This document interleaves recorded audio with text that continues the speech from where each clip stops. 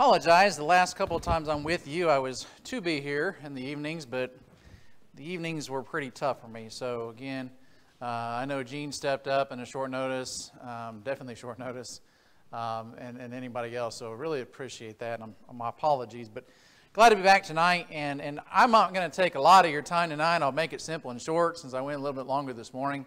And so, hopefully, the, the, the, the quality of this lesson will be more so of a bringing things to your mind of encouragement.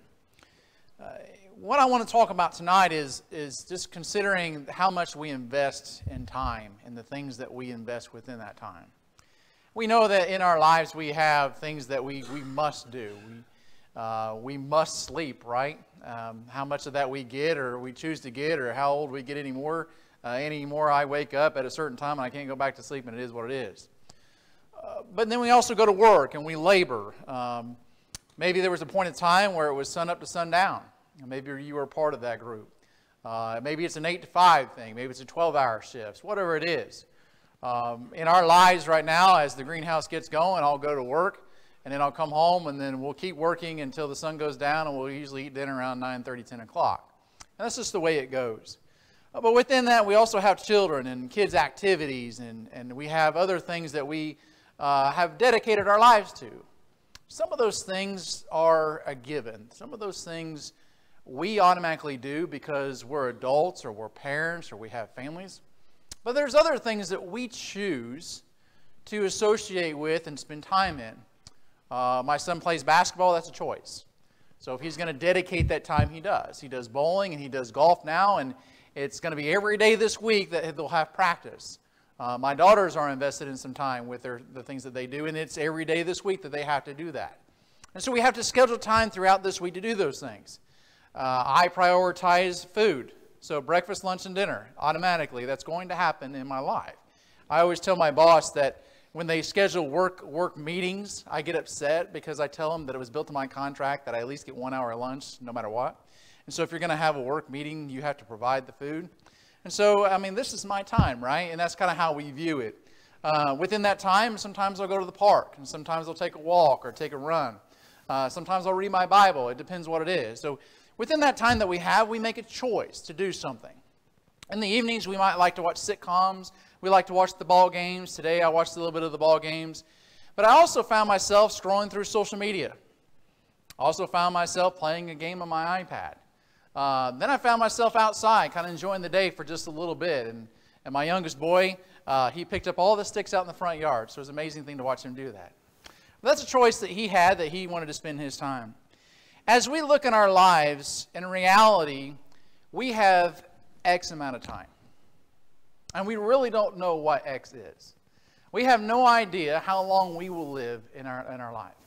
And so, as we know that there are 24 hours in a day, Within that, what are we going to use that time with wisely? And I'll be the first to admit I've wasted it. I've wasted it, and I wasted a lot of time. A lot of time. If I, if God could put it right in front of me, He says, Kevin, here's all the hours that you spent sleeping, you spent exercising, you spent scrolling through social media, watching television, goofing off, you name it, whatever you did. Here's all the time that you spent. But also, you labored a lot in life. You've done a lot of physical activity. You've done a lot of yard work, you've done a lot of things for your home, uh, you've done a lot of things for a business, a company of some sort. And even that can be a waste of time. Because we can engross so much of that, we, we work so hard for certain things, and that we miss out on some of the important things. Because again, we want the almighty dollar, we want the corporate ladder, or we just, we're busybodies. Uh, some people can't sit still, some people can't do nothing. You know, they always have to be doing something. And in that, it can be discouraging because if we're always doing something, maybe that, uh, that we think is productive, but yet we're missing out on opportunities over here, whether it's with our church or with our children and so forth, it can be in vain just as well. So, what are we using our time in the sense of being wisely, especially in spiritual things? Because we know how much time we spend doing all the other stuff. And I know in the end of the day, you're like, okay, Evan, Kevin, I get it. I understand what you're saying. I got to spend more time maybe reading my Bible, making sure I go to church, sending cards, uh, praying and doing a lot of other spiritual things, but also I can do those other things, right? Well, yeah, to a healthy measure, as long as those things don't bring us into a measure of sin. But even still, think about that. Even though we might have some sort of a freedom to do those things, should we do them? In reality, what more important things can we do? Because again, our time is X, whatever that is, that I'm going to be here in this life. And what can I do today to be productive for not only today, but also tomorrow when it's all said and done? When I look back at yesterday, how productive was I in the grand scheme of things in my life? What did it help me do? Did it help me grow in any facet? Did it make me any healthier? Uh, did it make me any closer with my wife? Uh, did our kids, do we bond in anything? Uh, did I help some neighbor out? Did I help a friend out? Did I, did I, did I help someone in the church? And all those things, when it's all said and done, that was just one day. What about a week? What about all the other relationships maybe we're having challenges we've been talking about the last couple weeks, the, the, the, conflict resolutions, how we re- resolve those things? How much energy and time have we put towards those things? A great eye opener for me was a couple weeks ago. I went to my first physical therapy. And when I was in the first uh, physical therapy, I'll let you guys know I'm 43 years old, right? And so when I got there and I was sitting in the waiting room, I looked around and I was the youngest person in that waiting room of at least 20 people by at least 20 years. I thought, man, am I old? Are they old? Am I young? Or what's going on here? So, but I looked around, and the number one thing you didn't see of all those people that were a lot older than me is no one had their cell phones out. Amazing. And I, I, had a tendency to take out mine because I was wasting time. I had to wait another 20 minutes or whatever. But none of those people had their phones out. If it was a, a, a man there for his physical therapy, his wife was sitting right next to him. If it was her that was there for physical therapy, her husband was right next to him. They weren't alone, they were together. Now, obviously, my wife, she works, so I, she wasn't there with me. I was there alone. But I thought for just a moment, I'm going to pull out my cell phone and I'm going to do what my generation does, and we're going to sit here and scroll through social media and we're going to waste time. But they didn't. They sat there. They did one of two things. They talked about randomness, especially weather. That's what old people talk about. And, or they just stared. They just looked around the room. They just observed. They just thought. They just didn't do anything other than within the social media aspect. And I thought, why don't I do that? Can I do that for just a moment? And I did. And I tell you what, it's just a totally different way of life. It's a totally different world that those people live in. You're like, holy cow, where did this world come from? And it's mind blowing because of all the other things that go through your mind of the day, good or bad.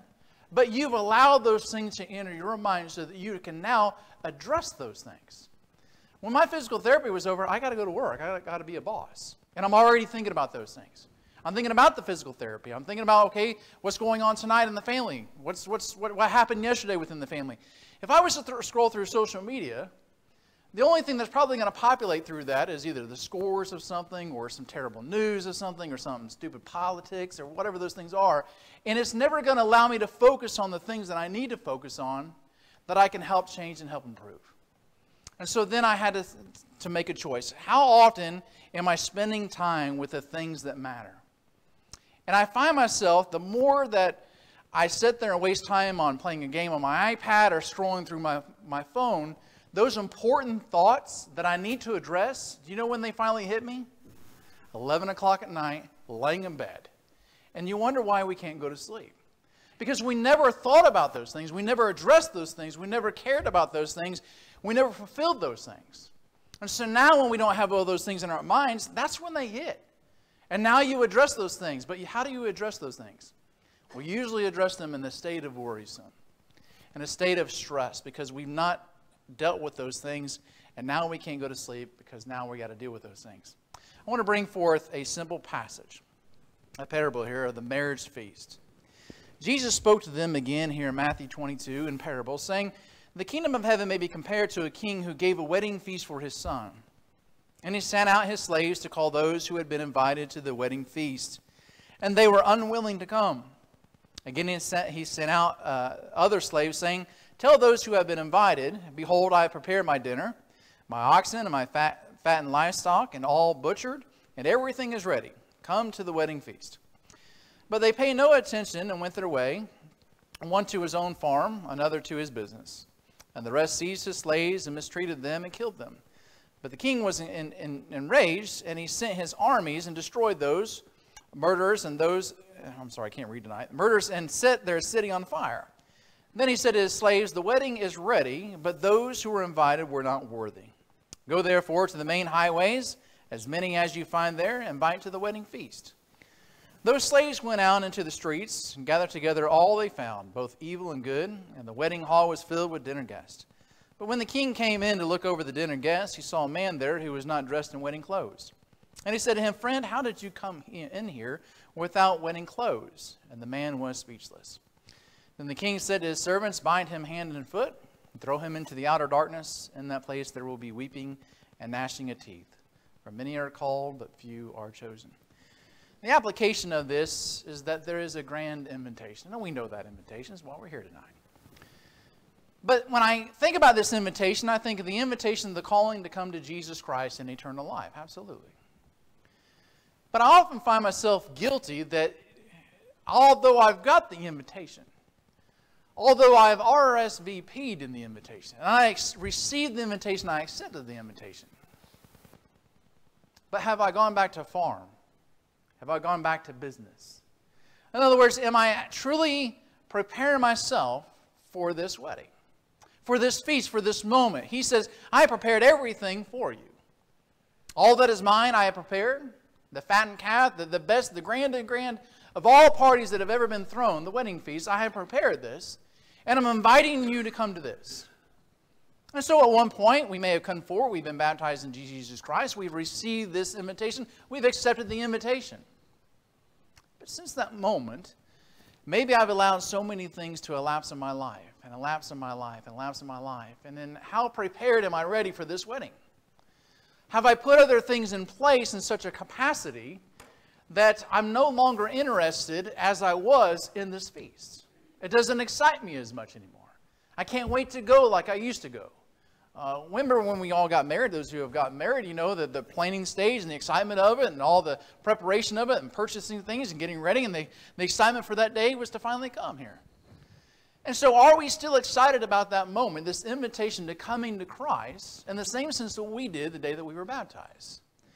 But although we're still here, we still have time that we've put into our lives, we've engrossed ourselves so much within the mundane things of life, all the things that I talked about earlier, and much more and so now the preparation of this, the invitation of this, we may have kind of pushed aside just a little bit. Now, we don't know the date of this invitation. We don't necessarily know the, the full grand party of it.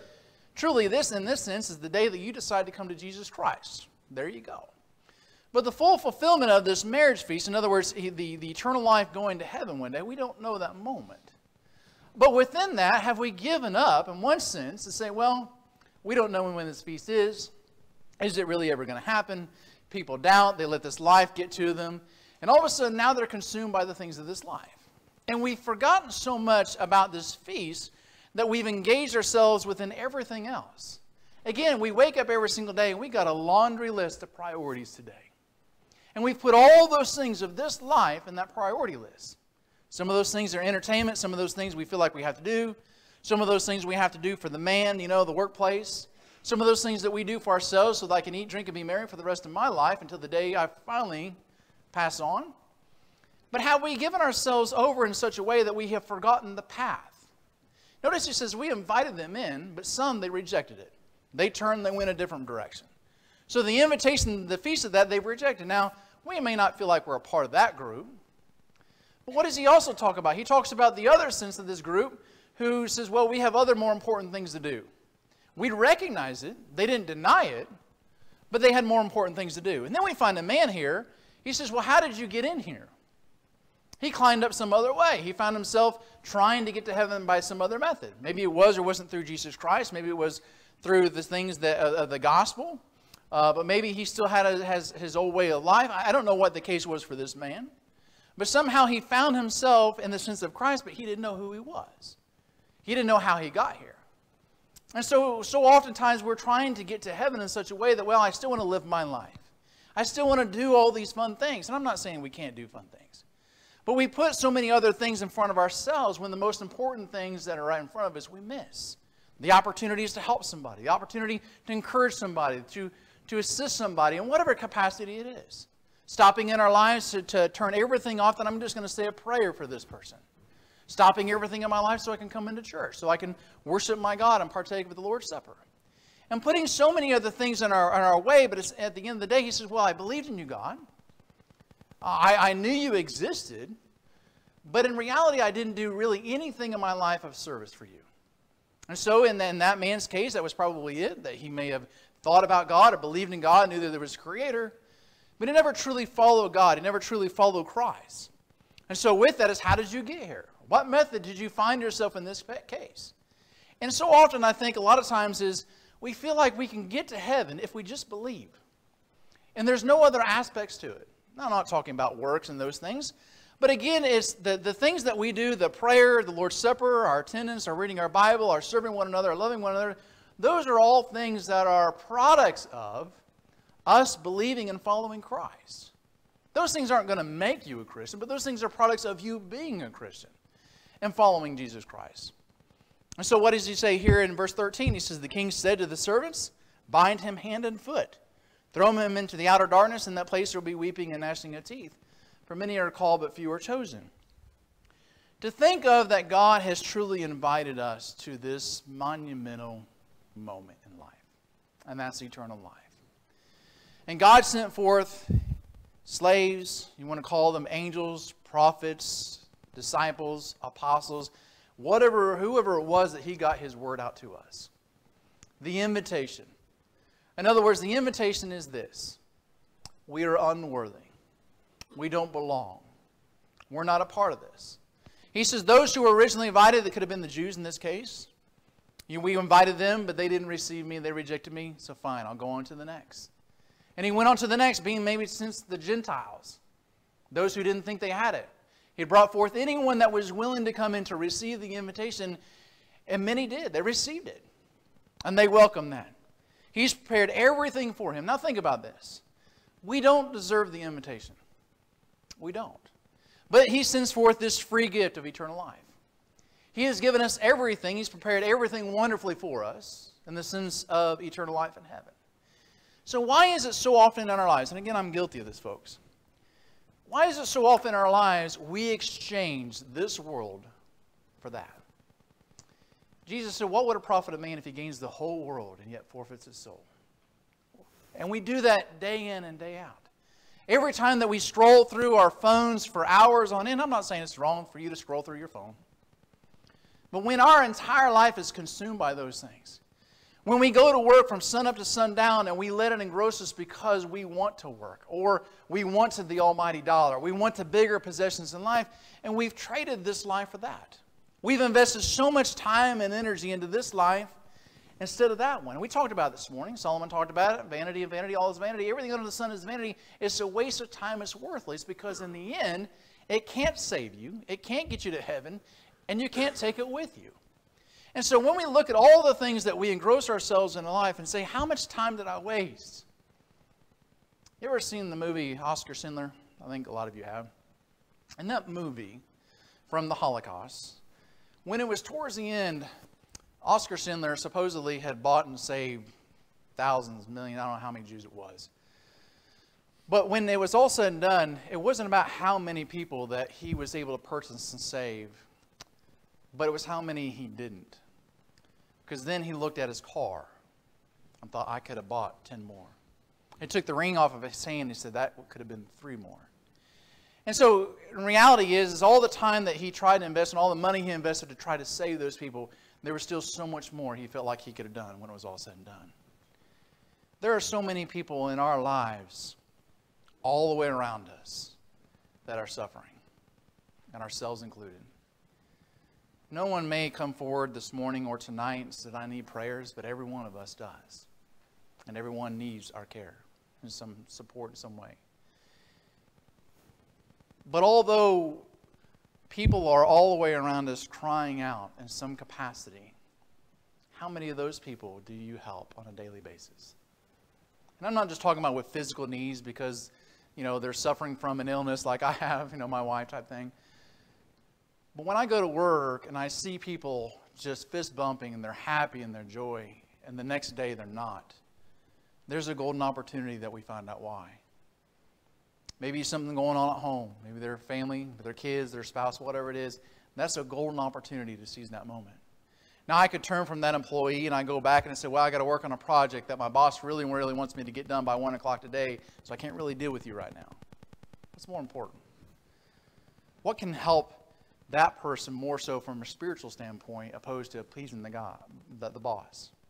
I'll eventually get what the boss needs, or I'll just tell him, hey, I didn't have time, I had more important things to do. But where do we invest our time and our energy when it's all said and done?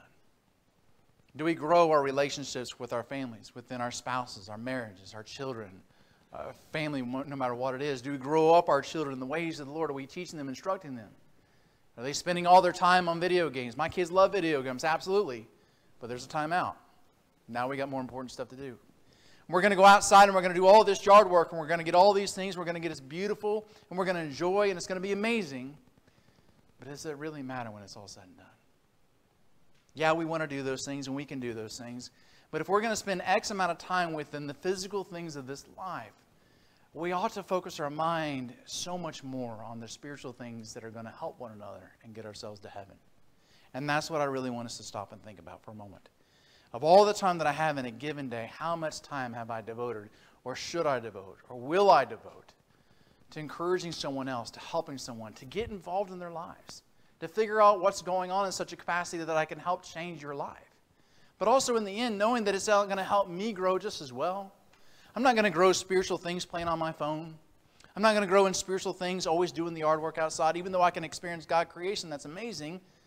But at the end of the day, when we bond and we fellowship, and we grow together, that's what's going to get us and them to heaven. And so, how much time do we invest into one another when it's all said and done? Final verse tonight, and the lesson be yours.